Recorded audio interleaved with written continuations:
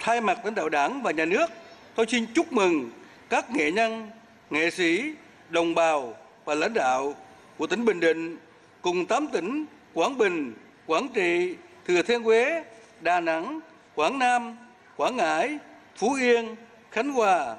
về sự ghi nhận đánh giá này của cộng đồng quốc tế. Thưa quý vị đại biểu,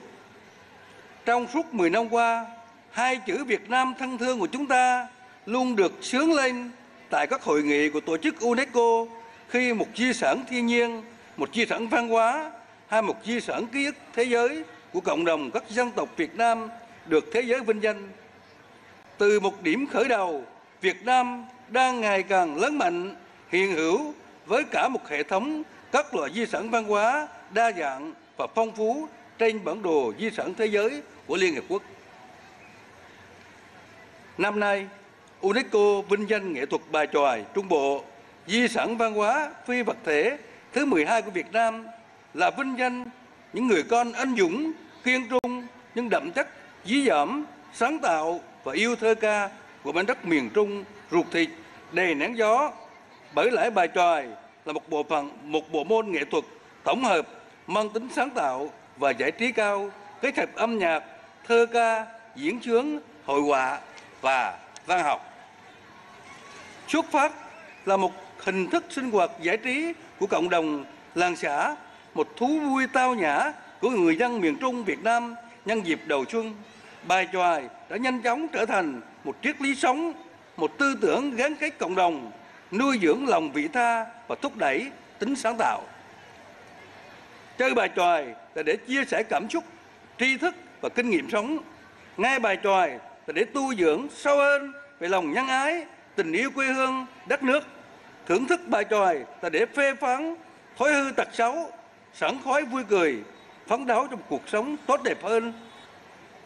Có thể nói ít có loại hình nghệ thuật nào vừa mang tính giải trí sáng tạo cao lại vừa gắn kết nhân dân lao động như bài tròi. Thông qua việc UNESCO ghi danh nghệ thuật bài tròi, cộng đồng thế giới đã tái xác nhận và khẳng định kho tàng di sản văn hóa phong phú của Việt Nam và trân trọng ghi nhận những đóng góp của dân tộc chúng ta vào việc làm giàu hơn nữa kho tàng văn hóa của nhân loại. Đây chính là thương hiệu quốc gia mà thế giới dành cho chúng ta. Qua đó, góp phần giới thiệu với bạn bè quốc tế phẩm chất cần cù, sáng tạo và lòng nhân ái của con người miền Trung Việt Nam góp phần làm cho khu vực này phát triển du lịch mạnh hơn trong tương lai. Nhân dịp này, tôi xin thay mặt lãnh đạo đảng, nhà nước bày tỏ lòng biết ơn sâu sắc đối với các bậc tiền nhân bằng tài năng, nỗ lực và cả xương máu chương đã sáng tạo, bồi đắp và trao truyền lại cho con cháu tài sản quý báu này để hôm nay được vinh danh và ngày mai sẽ tiếp tục tỏa sáng trong dòng chảy văn minh của nhân loại. Tôi nhiệt liệt chúc mừng và biểu dương cộng đồng chủ thể di sản đã gìn giữ và phát huy di sản văn hóa đặc sắc này. Tôi đánh giá cao những nỗ lực của Ủy ban Quốc gia UNESCO, Bộ Văn hóa Thể thao và Du lịch, Bộ Ngoại giao, lãnh đạo chín tỉnh miền Trung và của các nhà khoa học trong sự nghiệp bảo vệ và phát huy các giá trị của nghệ thuật bài tròi cũng như trong quá trình nghiên cứu, lập hồ sơ, đề cử di sản với UNESCO. Thưa tất cả quý vị, chúng ta đang sống trong một thế giới đầy biến động, với những biến chuyển khôn lường, vượt ngoài khả năng dự báo. Trong thế giới ngày nay, càng gắn kết dễ bị đồng nhất hóa và gia tăng bất ổn đó. Bản sắc văn hóa dân tộc của mỗi quốc gia vốn là nhân tố bền vững nhất, càng bị thách thức.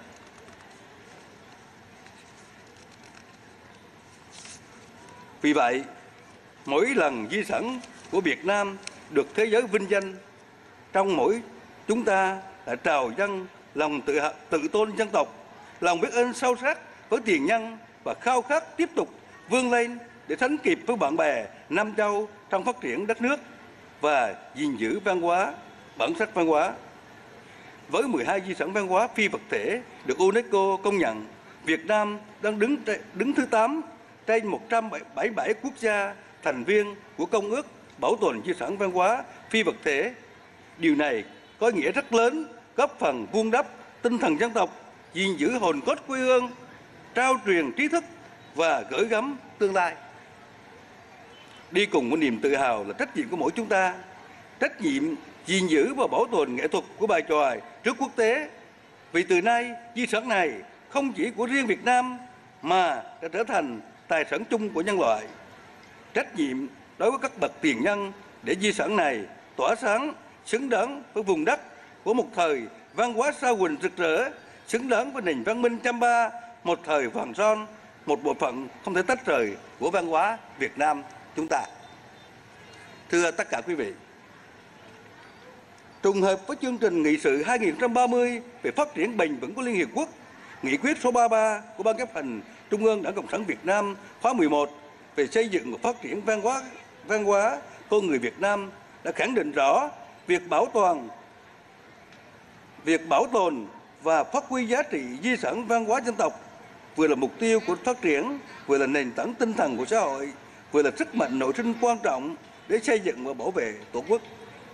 Với tinh thần đó, chính phủ việt nam long trọng cam kết cùng các nghệ nhân, nghệ sĩ, cộng đồng thực hành di sản, các cơ quan trung ương và địa phương thực hiện nghiêm túc và hiệu quả chương trình hành động quốc gia bảo vệ và phát huy bền vững giá trị di sản nghệ thuật bài tròi Trung Trung Bộ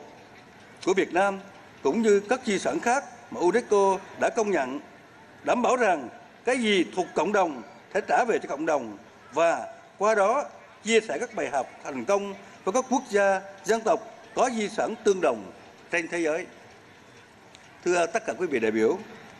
chưa bao giờ vị thế quốc tế của Việt Nam, nước ta lại cao như hiện nay và cũng chưa bao giờ đóng góp của dân tộc ta vào công việc chung của thế giới, trong đó có lĩnh vực bảo tồn và tôn vinh giá trị văn hóa lại lớn như thế. Một Việt Nam dân giàu, nước mạnh, xã hội công bằng, dân chủ văn minh là mục tiêu phấn đấu và đang trở thành hiện thực mỗi ngày. Đó là nhờ điểm khởi đầu của nghìn năm văn hiến Việt Nam. Người Việt Nam ta dù ở miền xuôi hay miền ngược, trong Nam hay ngoài Bắc, dù ở trong nước hay đang làm ăn sinh sống học tập ở nước ngoài, đều mang trong mình dòng máu lạc hồng, đều luôn, luôn hướng về cội nguồn, chung sức, đồng lòng xây dựng non sông đất nước. Chúng ta hãy cùng nhau gìn giữ và phát triển văn hóa Việt Nam tiên tiến, đậm đà bản sắc dân tộc để nền văn hiến Việt Nam dạng danh muôn thuở để tinh hoa văn hóa Việt Nam hòa quyện tỏa sáng cùng tinh hoa văn hóa nhân loại. Riêng năm riêng đêm nay hãy để gió xuân phản phất cành tre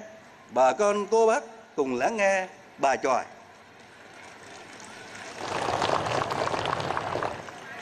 Hãy để tiếng ca bài tròi được vang lên trong từng gia đình, từng ngõ xóm của toàn bộ vùng đất miền Trung Việt Nam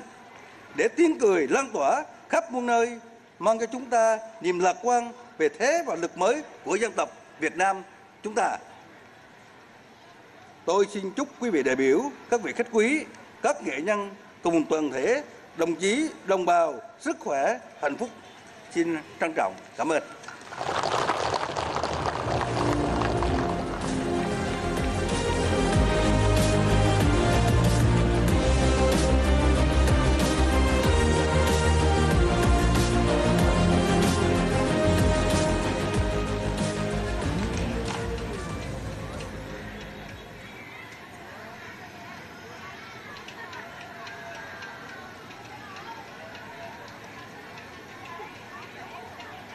Xin ờ, trân trọng cảm ơn Thủ tướng Chính phủ Nguyễn Xuân Phúc.